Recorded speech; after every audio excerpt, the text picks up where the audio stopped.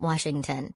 First Lady Jill Biden opened her first holiday season at the White House on Monday by breaking off a small branch from the official Blue Room Christmas tree and giving it, along with a big smooch, to her toddler grandson.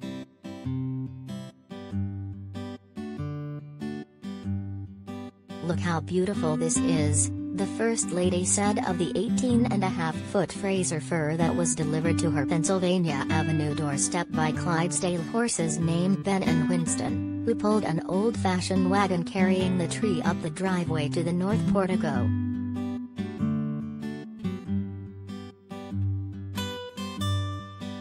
It is beautiful. It's magnificent, really, she said.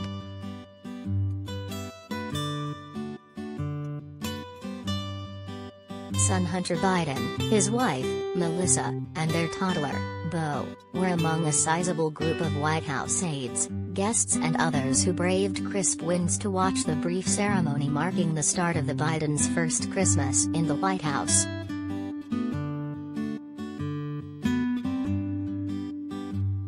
The annual receipt of the holiday tree has been a traditional First Lady duty since the 1950s, enthusiastically embraced by every recent FLOTUS.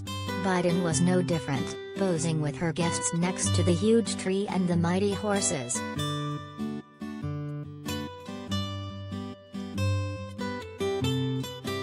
The tree was presented by the father and son team of Rusty and Beau Estes of Peak Farms in Jefferson, North Carolina, a three-time winner of the National Christmas Tree Association's annual contest. The winner gets to present its official tree to the White House.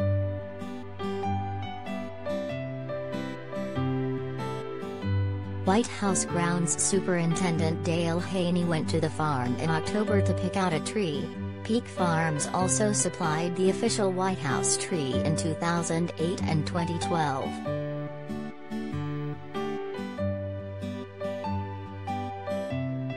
The Fraser fir will be decorated in the coming days and displayed in the Blue Room, a tradition that dates back to President Dwight D. Eisenhower, after a chandelier is removed so it can be tethered to the ceiling for safety during the season.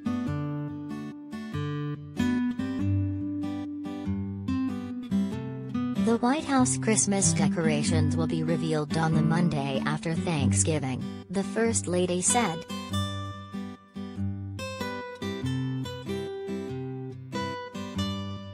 She also was joined by a D.C. Army National Guard family to honor the National Guard's role in responding to the COVID-19 pandemic, her office said.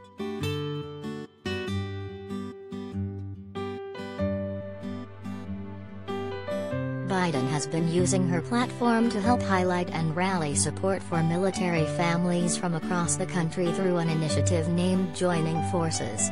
The Biden's late son, Beau, for whom the Biden's youngest grandchild is named, served in the Delaware Army National Guard.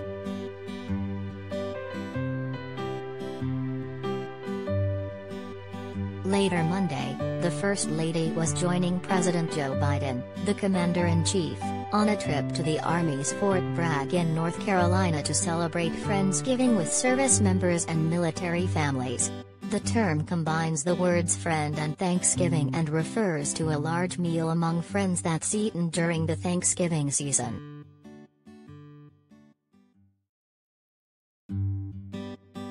On Tuesday, they plan to participate in a to-be-announced local service project before resuming the Biden family tradition of celebrating Thanksgiving on the Massachusetts island of Nantucket.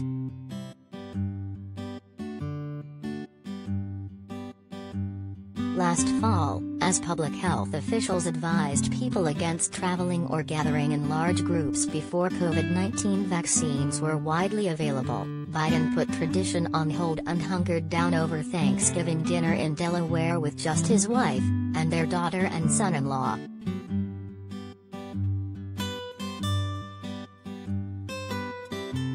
Last Thanksgiving, for the first time, it was just the four of us, Biden said earlier this month as he commented on the nation's progress against the coronavirus.